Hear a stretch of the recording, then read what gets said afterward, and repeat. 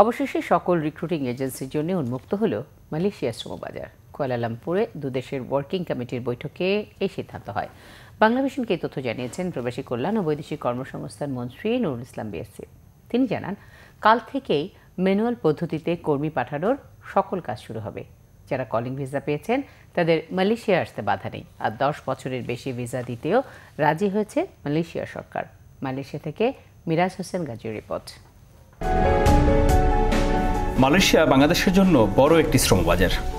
দেশটিতে দশ লাখের বেশি কর্মী কাজ করছে। গেল দেড় বছরে জিটুজি প্লাস পদ্ধতিতেই এসেছে দুই লাখের মতো কর্মী। জিটুজি প্লাস পদ্ধতিতে এই কর্মী আসলেও পহেলা সেপ্টেম্বর থেকে বন্ধ হয়ে যায় এর অনলাইন সিস্টেম এসপিপিএ প্রায় এক মাস বন্ধ থাকার পর মঙ্গলবার মালয়েশিয়ার প্রশাসনিক রাজধানী পুত্রজায় দুদেশের মধ্যে বৈঠক হয়। কর্মী সংক্রান্ত ওয়ার্কিং কমিটির বৈঠকে বাংলাদেশের প্রবাসী কল্যাণ ও বৈদেশিক কর্মসংস্থান মন্ত্রী নুরুল ইসলাম বিএসসি এবং মালয়েশিয়ার মানব সম্পদ মন্ত্রী কুলা সেগারান নেতৃত্ব দেন। প্রধানমন্ত্রী মাহাতির মোহাম্মদের আগের ঘোষণা অনুযায়ী বাংলাদেশের সকল বৈধ রিক্রুটিং এজেন্সির জন্য মালয়েশিয়ার শ্রমবাজার উন্মুক্ত করার সিদ্ধান্ত হয় এই বৈঠকে।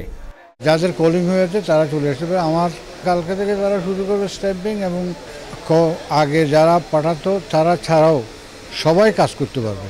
কারও প্রতি কোনো রকমের সিন্ডিকেটের কোনো তারা দায় দায়িত্ব নেবে না সিন্ডিকেট করতে দেবে না। সবার জন্য উন্মুক্ত করে দেওয়া হয়েছে ফ্রম এই মুহূর্ত থেকে। সবার জন্য উন্মুক্ত থাকবে, সবাই করতে পারবে। অনলাইন সিস্টেম থেকে ম্যানুয়ালি আমরা এটাকে হ্যান্ডেল করব। কুয়ালালামপুরে বাংলাভিশনকে মন্ত্রী আরও জানান, যারা অবৈধ আছেন তাদেরকে বৈধতা দেয়া এবং দশ বছরের বেশি ভিসা দেওয়ার বিষয়েও ইতিবাচক আলোচনা হয়েছে এই বৈঠকে। রিহায়ারিংয়ের মেয়াদ শেষ হয়েছে। আমরা রিকোয়েস্ট করেছি যে আরও কিছুদিন টাইম তাদের টাইম বাড়ানোর জন্য। উনি তার প্রধানমন্ত্রীর সাথে আলাপ করে ওটার টাইম বাড়ানোর ব্যাপারে এখনও কনফার্ম করতে পারে নাই তবে আমার মনে হয় এটা হয়ে যাবে। এটা হয়েছে এখন তাকে দশ বছরের উপরেই তারা বিষা দেবে। জানা গেছে, নতুন অনলাইন সিস্টেম চালুর আগ পর্যন্ত পাইপলাইনে থাকা কর্মীদের ম্যানুয়াল পদ্ধতিতেই সকল কাজ সম্পন্ন করা হবে। জি টু জি প্লাস পদ্ধতিতে মালয়েশিয়ায় কর্মী পাঠানোর অনলাইন সিস্টেম এসপিপিএ বন্ধ হয়ে যায় পহেলা সেপ্টেম্বর থেকে।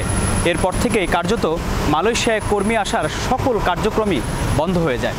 এখন এই দুদেশের উচ্চ পর্যায়ের বৈঠকের মধ্য দিয়ে সকল রিক্রুটিং এজেন্সির জন্য উন্মুক্ত হলো মালয়েশিয়ার শ্রমবাজার। এখন দেখার বিষয় হচ্ছে, কর্মীদের অভিবাসন ব্যয় কত করে recruiting এজেন্সিগুলো? Miraj Hossain Gazi, Bangla vision, Kuala Lumpur, Malaysia.